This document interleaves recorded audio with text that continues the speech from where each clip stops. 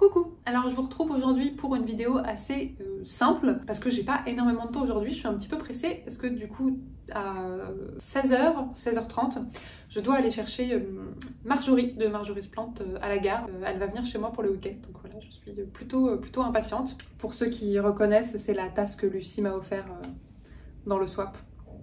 D'ailleurs, en parlant du swap, on est dégoûté parce que du coup la poste n'a pas perdu le colis que je lui ai envoyé, mais s'est trompé de trajectoire et donc du coup il met plus de temps à arriver et donc il risque d'arriver euh, demain. Euh, donc là on est vendredi, donc il risque d'arriver samedi, voire même lundi, alors qu'à la base il était prévu pour mercredi. Donc j'espère que, que les plantes vont être en bon état quoi. Et en plus je, suis désolée pour elle qui n'ait pas pu faire sa vidéo à temps quoi. Mais donc du coup voilà. Euh, pour l'instant, on est en stand-by de l'attente euh, du colis que, je lui ai envoyé quoi. Mais donc du coup aujourd'hui j'ai pas énormément de temps et je voulais faire voilà une vidéo pas trop trop compliquée à tourner et il y avait une vidéo que je voulais vous faire euh, depuis quelques temps. Alors j'ai vu qu'à un moment j'avais fait un sondage et je l'avais proposé dans le sondage, elle n'avait pas eu beaucoup de votes. Donc ça se trouve, ça vous intéresse pas du tout. Mais du coup, voilà, moi c'est un truc dont j'avais envie de vous parler au moins une fois. C'est tout simplement ce qui va être lié aux accessoires que j'utilise pour l'entretien de mes plantes. Alors du coup, quand je dis accessoires, je ne vais pas compter euh, tout ce qui est substrat, etc. C'est-à-dire que je ne vais pas vous parler euh, des substrats, de l'engrais, etc. Euh, je vais simplement vous parler des accessoires d'entretien. et donc c'est pareil, je ne vais pas vous parler de tout ce qui est un petit peu plus déco, comme les pots, les cache-pots, tout ça. Donc on va vraiment se centrer sur les accessoires type lamporticole, humidificateur, euh, et donc tous les accessoires euh, que moi j'utilise souvent, que je trouve indispensables, ou qui je trouve facilitent, facilite la vie, sont assez pratiques, ou qui permettent voilà, de chouchouter un petit peu ces plantes, etc. Je vais vous parler uniquement de mes favoris à moi, donc voilà, de moi les accessoires que j'aime bien utiliser. Euh, je vais pas vous parler, alors il y a un classique, c'est l'arrosoir, évidemment, je ne l'ai pas mis dedans.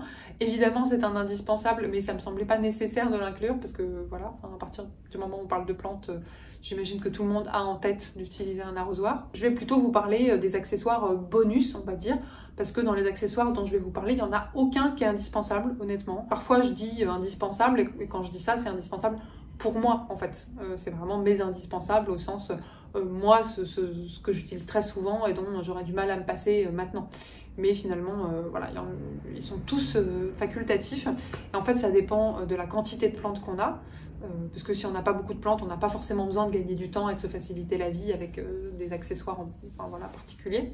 Donc ça dépend de la quantité de plantes qu'on a, ça dépend de où est-ce qu'on place les plantes chez soi, c'est-à-dire est-ce qu'on a besoin qu'ils aient de, l'éclairage supplémentaire ou pas. Ça dépend du degré d'humidité chez nous. Ça dépend aussi voilà, d'à quel point on veut chouchouter nos plantes ou à quel point on accepte aussi voilà, que parfois euh, elles ne soient pas forcément euh, dans des conditions idéales. Parfois, il y a des gens qui me disent Ah non, mais moi je pourrais pas avoir des lampes horticoles, un humidificateur, une vitrine, machin truc. Je comprends tout à fait. Euh, moi, je suis pas du tout du genre à penser qu'il faut tout ça pour être passionné de plantes, loin de là. Moi, je n'aime pas du tout cette espèce d'état d'esprit-là. Faites comme vous voulez et comme vous le sentez avec vos plantes à vous. Et puis bah forcément, euh, tout ce qui est accessoire, ça dépend aussi, euh, donc je vous disais, ça dépend du nombre de plantes qu'on a, d'où est-ce qu'on veut les placer, à quel point on veut les chouchouter, etc. Puis ça dépend aussi du budget qu'on a, honnêtement. C'est pas forcément euh, donné d'avoir justement voilà, tout ce qui est humidificateur, lamporticole, etc. Euh, c'est un petit budget, moi c'est des choses que j'ai acquéries au fil des années. Euh, je vais pas tout acheter euh, d'un coup, même si j'ai une petite tendance aux achats compulsifs. et donc une fois que je me mets un truc en tête, je suis capable de passer une grosse, grosse commande d'un coup sans que ça soit très très raisonnable. mais là c'est vraiment voilà, des choses dont j'ai identifié que j'avais besoin progressivement parce que le niveau d'humidité était un peu bas chez moi et que je voyais qu'il y a certaines plantes qui en souffraient, euh, parce que j'ai commencé à mettre des plantes beaucoup plus éloignées de la fenêtre et donc elles avaient besoin d'un éclairage supplémentaire, etc. Donc euh, voilà, des choses en plus comme ça. Euh, je vais pas vous parler de tout ce qui est lié à ma vitrine, enfin pas trop. Je vais vous parler un petit peu de l'humidificateur et de la lampe horticole que j'ai dedans, mais je vais pas trop vous parler du reste parce que j'ai fait une vidéo spéciale là-dessus. Donc tu peux retrouver sur ma chaîne une vidéo sur ma vitrine, comment elle est installée, tout ça. quoi. Euh, plusieurs fois dans ma vidéo, euh, je vais faire référence à celle de Marjorie parce qu'elle a fait une vidéo un petit peu similaire sur ses accessoires à elle que j'ai trouvé très sympa. Enfin, euh, je trouve qu'il y a plein d'infos intéressantes et utiles dedans. Donc n'hésite pas à aller voir sa vidéo à elle aussi. Je vais essayer de pas trop me répéter par rapport à, ce qu'elle a pu vous dire, même si je m'étais pas mal reconnue dedans et donc il y a pas mal de choses où je suis d'accord. Voilà, voilà j'ai à peu près le, même avis sur la question. Du coup, bah, je vous laisse avec la vidéo et puis bah, je vous souhaite un bon visionnage. Donc quelque chose que j'utilise beaucoup, moi déjà, c'est les humidificateurs. J'ai trois humidificateurs et j'ai eu l'occasion d'en tester pas mal d'autres euh, avant. Et donc bah, c'est quelque chose que j'utilise tout simplement euh, pour augmenter le niveau d'hygrométrie euh, de la pièce, donc augmenter le niveau d'humidité ambiant parce que bah, les plantes tropicales qu'on a chez nous, elles ont besoin d'humidité, notamment avec le chauffage en hiver, mais moi j'utilise les humidificateurs toute l'année. Alors du coup moi les trois humidificateurs que j'ai, j'en ai deux euh, de la marque euh, Levoit, euh, voilà, ou Levoit, enfin bref, moi et mes prononciations comme d'habitude. J'en ai un qui est du coup sur ma plantagère près de la fenêtre. Ce qui est très pratique avec celui-là, c'est qu'il se remplit par le haut. et ça, c'est vraiment quelque chose que j'aime bien. donc il y a juste, voilà, alors je vous mettrai des images, j'ai filmé quelques plantes, donc voilà, je vous insérerai ça ici.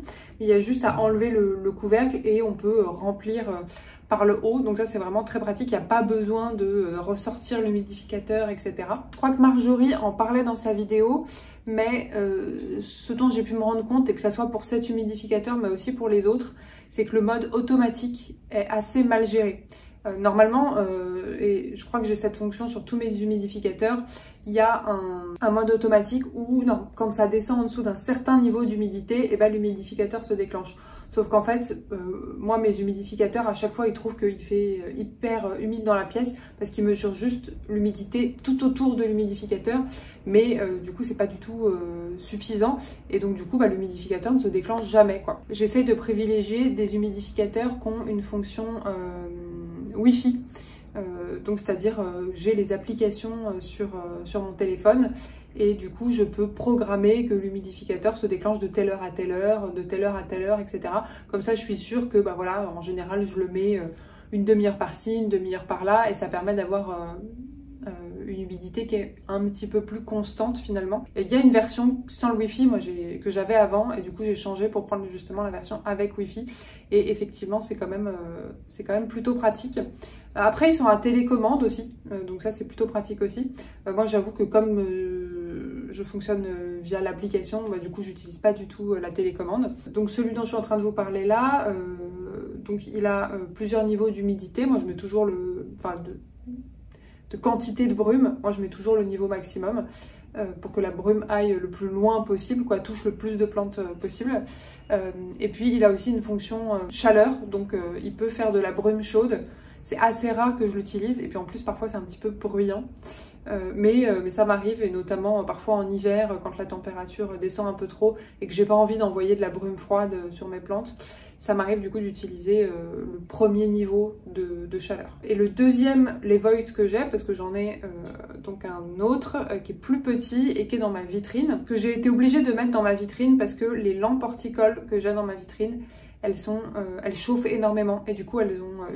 Avant j'avais des lampes horticoles autres beaucoup plus basiques et le niveau d'humidité restait assez élevé même sans humidificateur et depuis que j'ai installé ces lampes là qui chauffent beaucoup et eh ben le niveau d'humidité il a baissé euh, d'un coup et donc du coup j'ai été obligée d'installer un humidificateur et donc du coup j'en ai installé un plus petit, un Levoit aussi pareil qui fonctionne avec le wifi et donc du coup il se déclenche alors comme c'est un milieu fermé dans la vitrine, il se déclenche beaucoup moins souvent. Je l'ai mis vraiment 5 euh, minutes par-ci par-là. Donc il se déclenche plusieurs fois dans la journée, mais à chaque fois que pendant 5 minutes, euh, pour essayer de doser vraiment un niveau, un niveau d'humidité qui reste euh, assez élevé et constant. Et c'est pareil dans ma vitrine, celui que j'ai, il, se remplit par le haut. et heureusement, parce que si je devais à chaque fois sortir l'humidificateur de ma vitrine et tout, enfin, ça serait vraiment pas pratique. Par contre, je crois que le, petit, enfin le petit, en tout cas le plus petit que j'ai dans ma vitrine, qui est un 6 litres, je crois, euh, il n'a pas la fonction euh, chaleur. Il peut pas faire de brume chaude. Et du coup, le troisième humidificateur que j'ai, c'est un, alors, je crois que ça s'appelle un Elocoms ou un Elocoms. Enfin bon, pareil, hein, je vous mettrai le nom de la marque euh, quelque part, qui est pas mal aussi, qui ressemble pas mal au les que j'ai euh, sur ma plantagère, alors c'est le même niveau de litrage, il fait brume chaude aussi, il a aussi un mode automatique qui ne fonctionne pas très bien, donc vraiment c'est... Euh, ça se ressemble beaucoup. Par contre, celui que j'ai, il s'ouvre par le bas. Enfin, en fait, il faut vraiment enlever euh, la partie principale de l'humidificateur, la retourner, dévisser, etc. Donc à chaque fois, il faut l'emmener dans la cuisine. Et ça, c'est vraiment pas pratique. Du coup, à chaque fois que je dois le, re-remplir, j'ai une flemme pas possible et du coup je laisse traîner, etc. Mais il y a une version, il y a le même qui existe et qui se remplit par le haut. Il me semble, hein, je ne veux pas dire de bêtises, mais il me semble qu'il euh, y a une version qui existe qui se remplit par le haut et que moi, comme je suis un peu bête, je me suis juste trompée en commandant. Je voulais celui qui se remplit par le haut et euh, bah, j'ai commandé euh, celui qui se remplit par le bas et j'ai eu la flemme de l'échanger. Donc du coup voilà, je, me suis retrouvée avec celui-là tout simplement. Et alors un autre truc sur lequel je vais pas trop m'attarder parce que Marjorie en, parlait aussi pas mal dans sa vidéo, euh, mais les, humidificateurs c'est vraiment quelque chose qu'il faut penser à nettoyer régulièrement. Euh, à cause du tartre, du calcaire euh, et puis tout simplement de l'humidité qui stagne et qui parfois fait un petit peu de, la mousse quoi. Et c'est vrai que moi j'ai vraiment une tendance à, enfin pas les nettoyer assez souvent quoi, euh, très très très clairement, je suis pas assez régulière là-dessus, mais ça peut vraiment les endommager, voire enfin voilà les, les, casser. Ensuite quelque chose qui je trouve est vraiment un gain de temps au quotidien, en tout cas pour moi, ça donc c'est-à-dire c'est les bacs d'arrosage. donc moi j'en ai trois, des comme ça. Tout dépend évidemment de la quantité de plantes qu'on a. Hein. Quand on n'a pas beaucoup de plantes, un ça suffit. Alors ça peut s'utiliser aussi comme bac de rempotage. Euh, moi, je préfère les utiliser comme bac d'arrosage parce qu'en fait, comme c'est rigide, c'est pas facile de euh, quand il y a des quand on a fait du rempotage, qu'il y a des déchets dedans, etc. C'est pas facile de les vider dans la poubelle. Euh, surtout que moi, ma poubelle, elle est plutôt étroite, quoi. Du coup, pour le, le rempotage, moi, j'utilise plutôt des tapis comme ça, qui du coup sont souples. donc, on peut les déplier, on, on scratch les coins et donc ça fait un petit peu, voilà, comme un bac justement avec les, rebords un peu remontés comme ça. Mais quand on a besoin de jeter euh, la terre ou enfin voilà tout ce qu'il y a dedans, et euh, eh ben on peut le plier et vraiment le, mettre dans la poubelle du coup.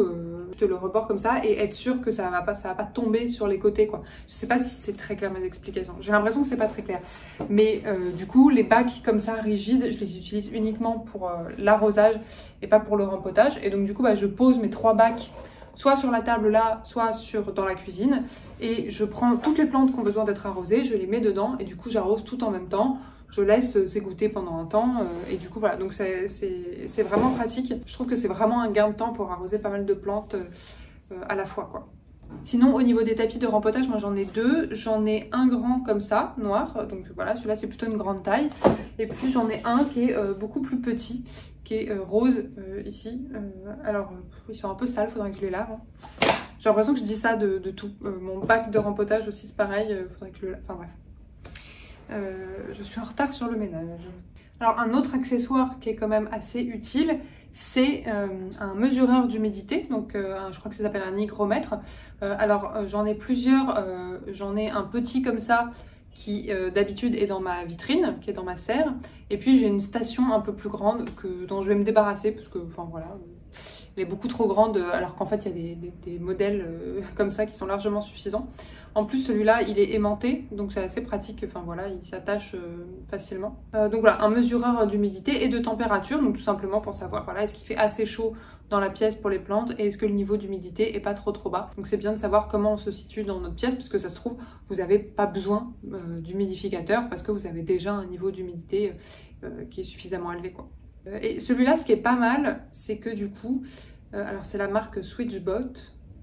Euh, il est en Wi-Fi aussi. Moi, j'aime bien les trucs en Wi-Fi parce que j'aime bien pouvoir faire les choses depuis mon téléphone, les déclencher depuis mon téléphone et regarder un petit peu les mesures depuis mon téléphone. Et donc ça, ça me permet du coup, le fait qu'il soit en Wi-Fi, quand il est dans la serre, déjà, parce que je le vois pas toujours quand il est dans la serre, parfois il est un peu caché par une plante ou par le, de la buée. Donc ça me permet depuis mon téléphone de toujours, de toujours pouvoir voir euh, combien est le niveau d'humidité. Et puis ça me permet aussi euh, de pouvoir voir finalement comment a évolué le niveau d'humidité. Je peux voir par exemple ces dernières 24 heures quel était le maximum, quel était le minimum, quelle a été la moyenne, etc. euh, du coup, je peux vraiment accéder à ces infos et je peux du coup, euh, même si j'étais pas chez moi à ce moment-là, voir que euh, peut-être qu'à certains moments le, niveau d'humidité tombe beaucoup trop bas ou grimpe beaucoup trop haut et donc voilà. Donc du coup voilà, c'est assez pratique le fait qu'il soit en Wi-Fi, je trouve. là, je l'ai depuis pas longtemps. Avant, j'en avais un qui marche plus très bien, je crois, enfin voilà, qui, est cassé, qui était pas en Wi-Fi et, et du coup, c'est vrai que en fait comme euh, il est un peu caché dans ma vitrine, je pensais jamais à le regarder, donc finalement, je euh, contrôlais jamais le niveau d'humidité de la serre, et ben maintenant je peux beaucoup plus le contrôler du coup. Alors un truc que je vous conseille, euh, alors je dirais pas que c'est un indispensable, mais quand même que je vous recommande chaudement, on va dire, c'est tout simplement une loupe. Pourquoi je m'en sers? Bah tout simplement pour euh, observer les nuisibles. Ça m'arrive, euh, et j'imagine que ça arrive à peu près à toutes les personnes qui ont des plantes, parfois de voir des choses sur les feuilles de mes plantes et de pas savoir si c'est une poussière, de pas savoir si c'est un trips, de pas savoir si c'est une larve euh, ou juste voilà une petite trace, de pas voir est-ce que ça a des pattes ou pas, est-ce que ça bouge ou pas. Enfin voilà, parfois c'est tellement petit que euh, c'est pas euh, toujours évident d'être sûr.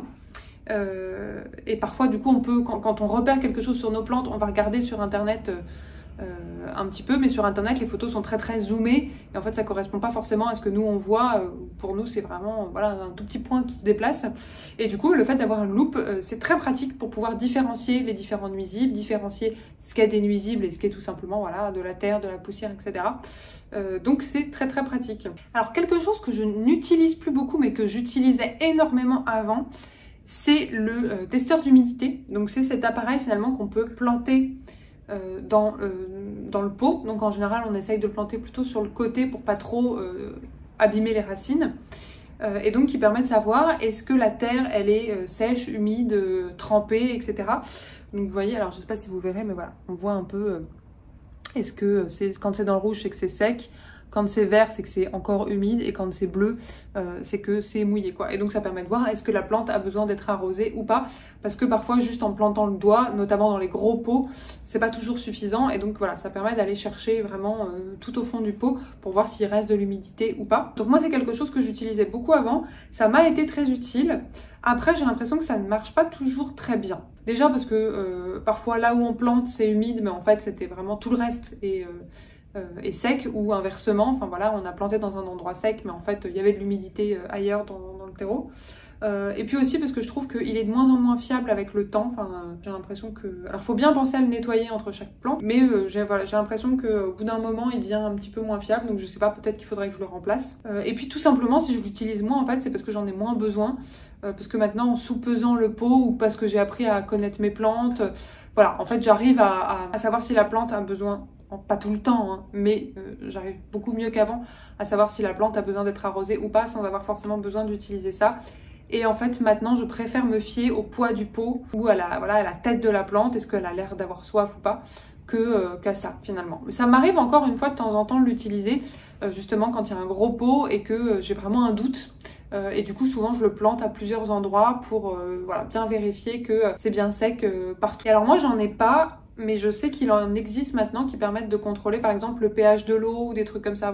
Peut-être que je suis en train de dire des bêtises. Euh, faudrait vraiment que je pense à me renseigner avant de parler d'un truc en, vidéo plutôt que de partir en intro. Euh, mais voilà, il me semble que maintenant il y en a qui contrôlent aussi euh, le pH de l'eau. moi, je vous avoue que j'ai pas l'énergie, le, temps, de contrôler ce genre de choses. Ensuite, un truc que j'ai, alors ça, ça doit faire quelques semaines que je l'ai. C'est assez récent chez moi et je trouve ça hyper pratique. C'est alors Wild Fern qui en parlait sur sa chaîne et elle disait qu'elle trouvait ça, euh, enfin vraiment que ça lui avait euh, changé la vie. bon, j'ai encore une fois peut-être une tendance à exagérer, je sais pas si euh, elle a vraiment dit ça. Mais en tout cas, voilà, que c'était très très pratique. J'étais un petit peu sceptique et puis euh, finalement, euh, j'en ai acheté un aussi. c'est hyper pratique pour déjà les petites plantes, les bébés plantes qui ont besoin juste de quelques gouttes d'eau ou voilà, pour, pour humidifier finalement, qui sont en sphène, etc. C'est hyper pratique aussi pour remplir les contenants à bouture sans avoir besoin de, voilà, de le mettre sous l'évier ou parce qu'en fait, c'est beaucoup plus fin qu'un arrosoir et on peut beaucoup plus contrôler le débit que sur un arrosoir. Donc ça permet vraiment voilà, de remplir euh, le contenant à bouture, euh, notamment quand euh, voilà, c'est des petites ouvertures, etc. Et puis c'est hyper pratique aussi pour réhumidifier les tuteurs. Sans tout tremper partout finalement. Ça permet vraiment d'aller se coincer un petit peu dans le tuteur, etc. Donc voilà, c'est vraiment, je crois que ça s'appelle une... J'ai le nom en anglais de squeezing bottle, mais en français je ne saurais pas vous dire. Je vous mettrai les liens en barre d'infos. Mais donc voilà, enfin je trouve ça hyper pratique. C'est pas grand chose, alors pour le coup ça coûte vraiment trois fois rien. Je suis, je suis très fan. Donc je sais pas si tout le monde en aura l'utilité et clairement c'est pas un indispensable. Ensuite je voulais vous parler un petit peu des tuteurs. alors au niveau des tuteurs, moi ce que j'achète souvent c'est des tuteurs simplement en coco comme ça. J'aime bien euh, ces formats-là avec la, pointe comme ça ça parce que déjà le fait que parce qu'il y en a qui sont plus épais et où il y a pas c'est pas pointu en bas en fait. Et je trouve que ceux-là le fait que ça soit pointu ça se plante beaucoup plus facilement dans la terre. Et en plus de ça on peut les accumuler en fait. Trou qu'il y a au-dessus bah en fait ça ça rentre parfaitement dedans. Donc on peut en mettre alors pas autant qu'on veut parce que je sais pas si vous vous souvenez j'ai deux plantes justement qui sont devenues très très hautes où j'ai mis trois ou quatre tuteurs comme ça. Ça finit par pencher un petit peu, je vous avoue. Je crois notamment sur mon Painted Lady, qui vraiment penche, euh, penche pas mal. Mais euh, du coup, voilà, c'est quand même hyper pratique euh, de pouvoir les, assembler comme ça. Après, moi, je trouve que les tuteurs en coco comme ça, les plantes ne s'accrochent pas énormément. Enfin, en tout cas, chez moi, elles ont du mal à s'accrocher. Mais du coup, c'est quand même plutôt pratique. Ça permet quand même de les faire grimper et, de les, et de les maintenir. Après, quelque chose que j'ai utilisé un petit peu et que je vous ai montré plusieurs fois en vidéo, c'est des choses un petit peu comme ça, en fait, où en fait, dedans, on va mettre de la sphène ou, euh, ou de la terre, enfin quelque chose voilà euh, auquel la plante pourra venir, dans laquelle les racines aériennes de la plante pourront venir euh, s'incruster. Et puis ensuite on ferme comme ça. Alors c'est pas simple à attacher, hein. franchement moi je galère à chaque fois. On ferme comme ça et puis pareil on peut en rajouter plusieurs et on peut selon la quantité qu'on a mis dedans on peut les faire ronds. On peut aussi décider de les faire voilà aplatis comme ça donc euh, selon ce dont on a besoin.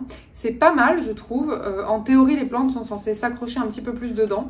Après, moi je trouve que ça demande du, pas mal d'entretien parce qu'il faut réhumidifier régulièrement. Et puis c'est pas très stable. Alors après, ce que j'ai fait moi euh, la dernière fois, c'est que j'ai mis un bâton dedans. Et donc du coup, il y a le bâton qui est un peu plus stable et il y a ça autour quoi. Parce que sinon, c'est voilà, assez souple. Ça, c'est je les ai achetés sur Groen Inuit. Mais il y a euh, de plus en plus d'autres boutiques qui font des tuteurs un petit peu, enfin des, voilà, des choses un petit peu comme ça pour créer des tuteurs. J'en ai vu chez Plants, j'en ai vu chez Harmony Plants.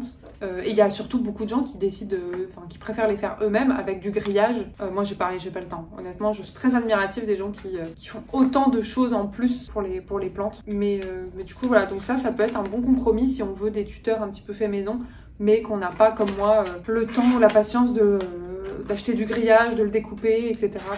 Alors après, il y a des tuteurs aussi. Là, j'en ai pas amené. J'en ai, mais j'en ai pas amené euh, là.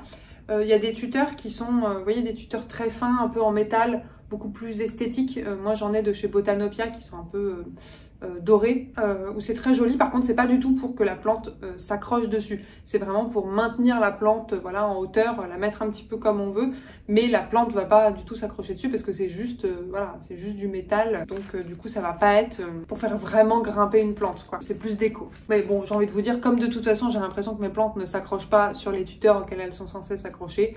Euh, tant qu'à faire, autant leur mettre des jolis tuteurs en métal, ça ne fait pas grande différence. Surtout que les tuteurs, moi, c'est pas un truc que je trouve très très esthétique. J'ai pas le choix d'en avoir parce que j'adore les philodendrons euh, et les philodendrons, euh, bah, en général, ça grimpe quoi. Donc j'ai plein de plantes qui ont besoin de tuteurs. Mais c'est vrai que c'est pas quelque chose que je trouve très très esthétique. Et ce que j'aime bien, c'est quand la plante commence à recouvrir une bonne partie du tuteur, comme c'est le cas notamment sur mon Syngonium albo variegata. Euh, et donc c'est pour ça que j'aime bien aussi essayer d'avoir plusieurs pieds pour que vraiment on voit le moins le tuteur possible, mais euh, c'est pas toujours, euh, notamment sur mon philodendron glorious, on voit énormément le tuteur quoi.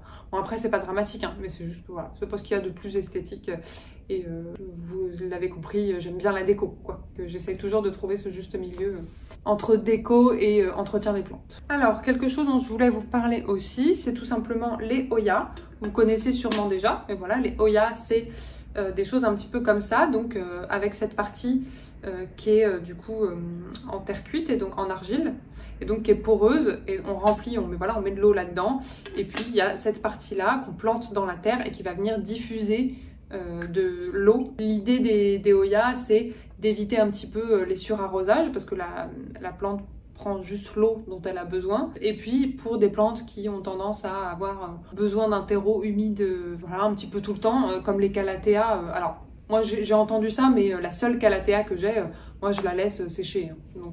Et, elle s'en porte pas plus mal non plus. moi je déteste laisser des terreaux humides en permanence. On m'avait dit de faire ça pour certaines alocasias, pour les marantas, mais vraiment... alors je les laisse moins sécher que certaines plantes, mais je les laisse sécher quand même. Bref, bon, c'est pas le sujet de toute façon. Ça peut être pas mal euh, aussi comme arrosage d'appoint, c'est-à-dire en plus pour des plantes qui ont très soif, entre, voilà, entre deux arrosages normaux, de remplir le Oya. Moi, les Oya, je m'en suis beaucoup servi pour des plantes en suspension, donc des plantes qui étaient, voilà, d'ailleurs, je m'en sers encore un peu, des plantes qui étaient euh, en hauteur, euh, que je pouvais pas descendre très souvent parce que c'était tout un bordel, et du coup que j'arrosais la plupart du temps par Oya. Et de temps en temps, je les descendais, je leur faisais un, un douchage, voilà, un peu plus minutieux. je les ai pas mal utilisés aussi pour les grosses plantes parce que les emmener dans la salle de bain à chaque fois, bon, c'était quand même un petit peu chronophage et donc euh, j'alternais avec euh, les Oya. Ça m'a été pas mal utile pour ces choses-là. Après, en ce moment, j'ai tendance à plus trop en utiliser parce que euh, j'ai eu quelques soucis, alors notamment de la moisissure autour du Oya parce qu'il y a cette partie qui a tendance du coup à rester humide beaucoup plus souvent. et puis, je trouve que la... c'est pas toujours très très homogène. Souvent, je me rends compte qu'il y a une partie du terreau qui est trop souvent humide et une partie du terreau qui reste tout le temps sèche. Donc voilà, je sais pas trop. Euh, je pense que ce qui peut être pas mal sur des gros pots, c'est d'avoir deux petits Oya finalement. Vraiment un de chaque côté. C'est ce que j'avais fait pour euh, ma Monstera à un moment. Mais donc du coup, là je les ai retirés, la majorité, je les... sauf celle des quelques plantes en hauteur. Parce que là pour le coup c'est vraiment trop galère de faire 100 euh, Oya. Mais pour la majorité des grosses plantes, je les ai retirées et je les arrose normalement quoi. Bon là ce modèle il est un peu gros, euh, j'en ai des plus petits aussi, là je crois que c'est vraiment le, modèle XL que j'avais pris pour ma Monstera. Après pour ceux qui aiment bien euh, la déco, bah, il y en a qui sont très très esthétiques, alors celui-là il est assez simple, euh, c'est de la marque Le Vivant Paris, mais il y en a qui sont très très esthétiques avec voilà des jolis motifs etc. Il y a aussi des, créateurs et créatrices qui font vraiment de très très très jolies choses. Donc ça peut apporter une petite touche, mais après moi je trouve que c'est en général assez cher. Même les Oya simples comme ça, franchement c'est assez cher déjà quand on a beaucoup de plantes, euh, ça commence à faire un budget quoi. Alors ensuite, il y a deux trois petits accessoires dont je voulais vous parler. Ça va être ces euh, petites choses là. Euh, alors là, je les, enfin voilà, je les regroupe un petit peu tout ensemble parce que globalement, c'est des fonctions assez similaires. c'est quelque chose que j'utilise énormément. alors il y a déjà ce que j'utilise un petit peu pour accrocher les plantes à leur tuteur.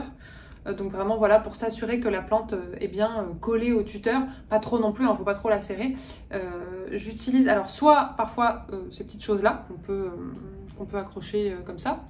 ça typiquement c'est le genre de choses que je peux utiliser si jamais aussi il y a par exemple les alocasias parfois qui ont tendance à beaucoup s'étendre. Si je veux qu'elles soient un petit peu plus compactes, je plante un bâton au milieu et il y a certaines tiges que j'accroche comme ça voilà, au, bâton pour que ça soit un petit peu plus redressé. Je sais pas si, je sais pas si c'est très clair. Et ce que j'utilise aussi, c'est euh, ces trucs-là. Alors ça, euh, contrairement à l'autre, une fois que c'est mis, on peut plus euh, le décoller quoi. c'est ce qu'on appelle, je crois que c'est des colliers de serrage ou des zip ties en anglais.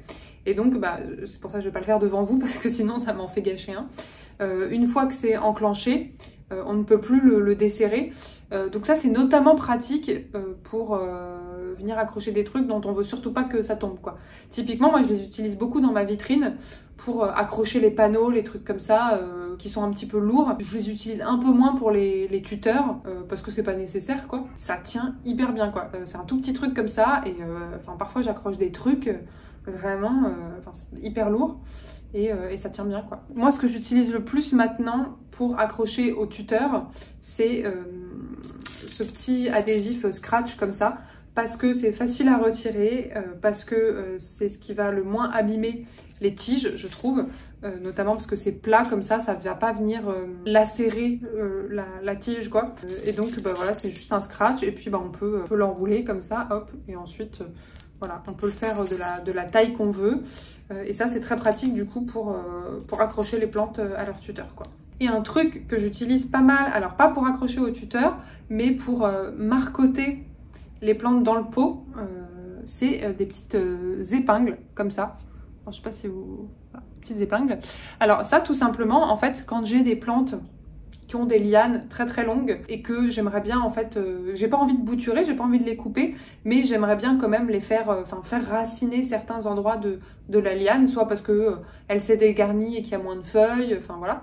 ce que je fais c'est que je prends la, la liane, je prends là où il y a un nœud et je plante finalement, je colle la tige et là où il y a le nœud à la, terre dans le pot et je mets l'épingle par-dessus et donc ça permet de bien tenir finalement la, tige euh, contre, le pot. Je ne sais pas si c'est très clair, euh, mais du coup voilà, ça permet de faire ce qu'on appelle euh, du, marcotage dans le, dans le pot et donc de donner la chance à certains nœuds de la tige de raciner dans la terre sans avoir eu besoin de couper. Il faut faire attention à ne pas trop plier la tige, sinon moi ça m'est déjà arrivé en voulant bien coller la tige dans le pot et mettre mon épingle, à, casser la tige tout simplement. Ça m'est arrivé sur un poteau qui était hyper long et du coup j'avais cassé genre euh, au tout début, enfin du coup ça me faisait une longue liane qui s'était séparée du truc et j'étais dégoûtée. Alors quelque chose que j'utilise uniquement l'hiver du coup, euh, les tapis chauffants. Alors les tapis chauffants, euh, c'est quelque chose que j'utilise euh, pour mes alocasias l'hiver parce que les alocasias c'est des plantes qui je trouve vivent assez mal l'hiver. Et du coup moi je les mets sur tapis chauffant. Alors je mets pas le tapis chauffant hyper hyper fort hein, parce que sinon ça sèche beaucoup trop vite. Et du coup je mets une grande partie de mes alocasias dessus. Et l'hiver dernier j'ai presque pas perdu d'alocasias et elles, elles se sont pas enfin elles n'ont pas perdu vraiment de feuilles, etc. Donc du coup, je trouve que c'est plutôt efficace. Après, par contre, effectivement, faut penser à arroser un petit peu plus souvent parce que ça va quand même, le terreau va quand même sécher plus vite. Et moi, pour mes alocasias l'hiver, c'est ce que je fais, c'est-à-dire que je les mets dans des pots en terre cuite, dans un substrat bien aéré, euh, bien drainant et euh, sur tapis chauffant. Et donc c'est ce qui fait que le terreau va sécher assez vite et presque mes alocasias l'hiver, je les arrose presque à la même fréquence que l'été, qu'elles en ont besoin quoi. Alors euh, les tapis chauffants c'est aussi quelque chose que j'ai utilisé pour des petites boutures, notamment avant d'avoir euh, ma vitrine. Quand j'avais euh, des bébés plantes qui étaient en sphène ou des trucs comme ça que j'étais en train d'essayer de faire raciner, et eh ben j'allais les placer sur tapis chauffant et souvent avec un truc au-dessus pour garder l'humidité. Euh, parce que du coup le fait d'avoir une chaleur comme ça à la base, euh, ça favorise a priori le, voilà, le développement du, système racinaire. Mais maintenant je le fais plus tellement parce que ça prenait trop de, place euh, et donc du coup maintenant c'est des choses que je mets voilà, plus dans la vitrine ou que je laisse raciner comme ça dans la cuisine sans tapis chauffant. Donc voilà, si jamais vous avez un intérieur qui est assez froid l'hiver, euh, et que vous avez des plantes qui sont sensibles à ça, bah ça peut être plutôt utile. Et alors une dernière chose dont je voulais vous parler, c'est euh, tout simplement mes lampes horticoles.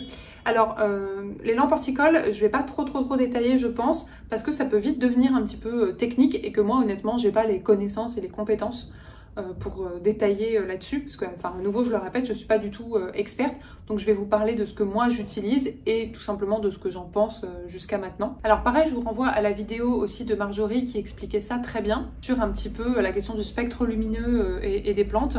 Et donc elle expliquait que en fait les plantes, elles vont avoir besoin seulement d'une partie du spectre lumineux. Et donc les plantes, elles vont absorber majoritairement tout ce qui va être rouge, orange et bleu, violet. Et donc du coup, alors parce que la lumière euh, blanche euh, qu'on a euh, voilà, classiquement, elle est composée de beaucoup plus de lumière que ça, mais les plantes vont en absorber seulement une partie.